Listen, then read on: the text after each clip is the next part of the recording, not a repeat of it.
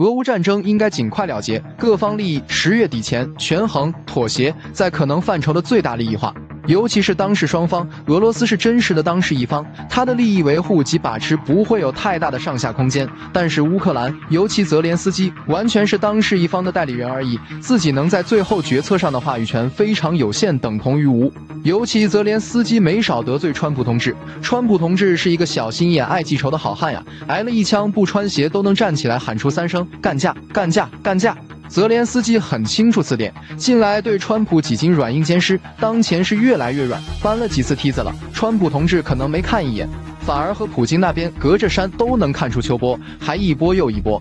倒不是说川普同志和俄罗斯有一腿，只是很确认，川普这个商人出身，很知道协议合同只和能签署的人谈的道理。普京是，司机不是。当前主要利益，我看是三方：俄罗斯、美国、欧洲。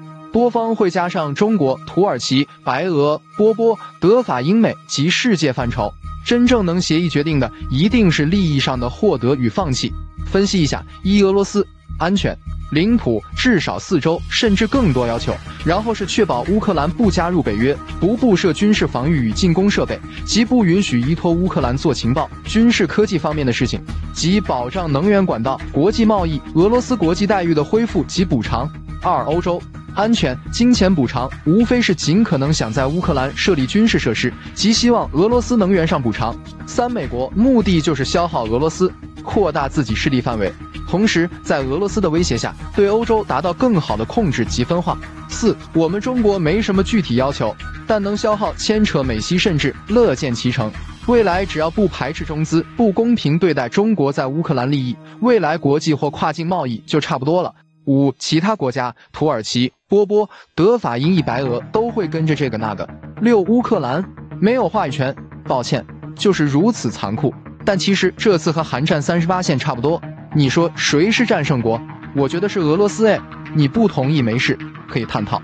所以我觉得所有决议妥协都是在等着俄罗斯同意，看着欧美妥协的框架下进行的。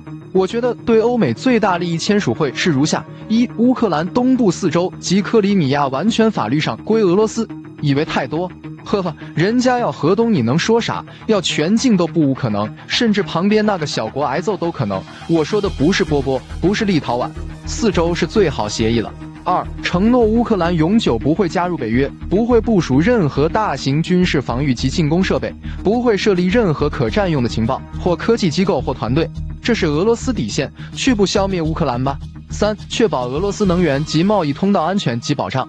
四对北溪提供象征意义上的赔偿。五解冻归还补偿俄罗斯国际上的财产与资格不再受限制。六所有交通文体人员往来不再受限制。七俄罗斯停止军事行动在乌克兰。其实战败方胜的无非是重建和原有资源再分配，未来所得支配权这些估计都会被美国及西方掌控，而且油水大大的万年基业。强烈建议大家赶快在川普上台前自我搞定，不给川普同志留蛋糕，更不给川普留下分蛋糕的权利。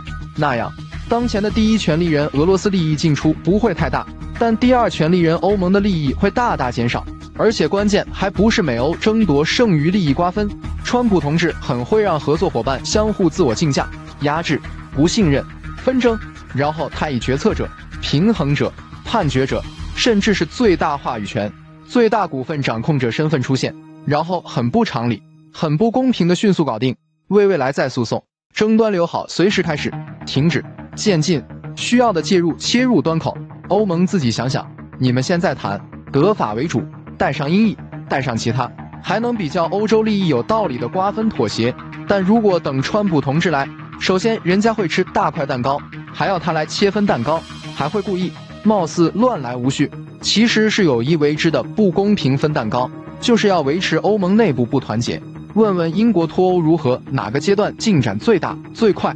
再看看欧元的兴起，欧盟的巨大进展又是哪个阶段？欧洲何时团结？欧洲何时开始纷杂纷争最大？欧盟还要建国同志来吃蛋糕分蛋糕吗？其实当前世界好像都约好了似的，在傻乎乎等着川普回来，两个战争立刻停止一个，另一个搞不好也能停止，都等川普来开灯关灯拜登。凭啥呀？丫得多得意啊！以后四年咋处啊？